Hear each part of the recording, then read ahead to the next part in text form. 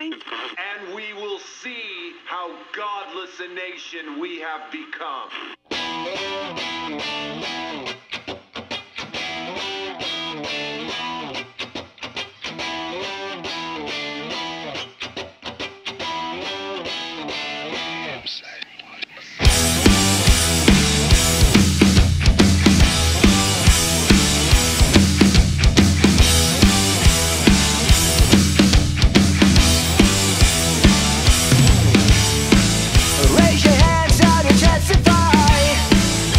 Confession will be crucified.